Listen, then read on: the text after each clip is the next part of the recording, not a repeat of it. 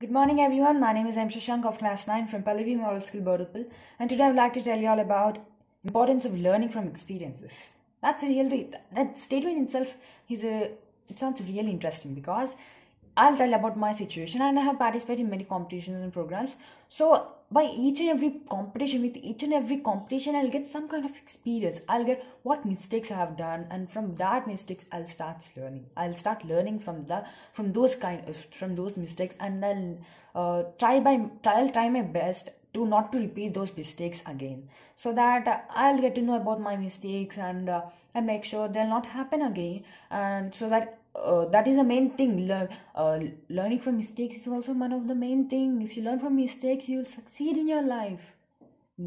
Uh, failures are stepping stones to success right?